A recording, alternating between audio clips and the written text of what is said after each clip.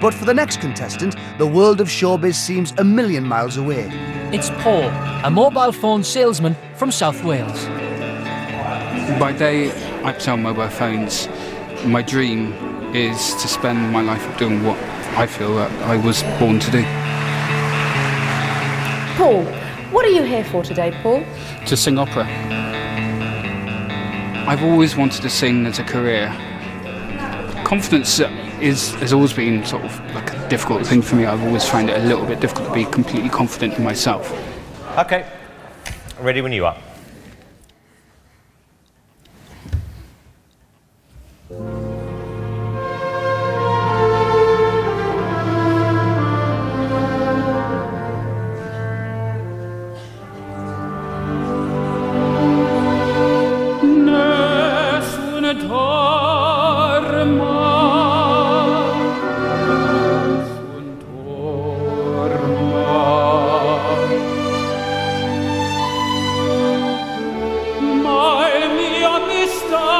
Mistero è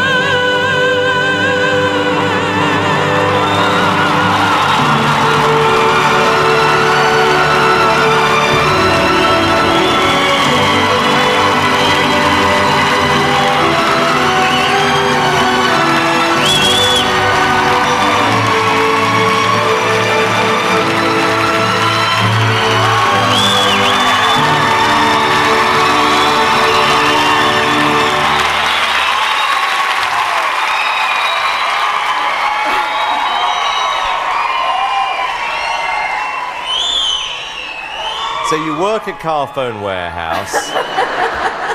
and you did that. I wasn't expecting that. No, neither was I. This was a complete breath of fresh air. I thought you were absolutely fantastic. You have an incredible voice. I think if you keep singing like that, you are going to be one of the favourites to win this whole competition.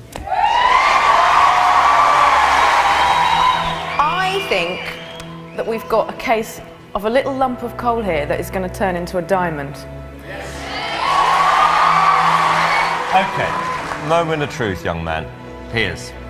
Absolutely yes. Amanda. Yes. Paul. You are through to the next round.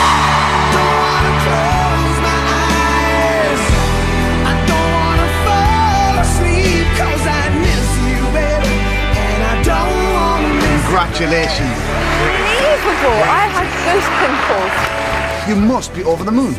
I am a bit shocked at the moment. Oh, yeah. And as Paul heads home happy, the judges think they might have found something special in Cardiff.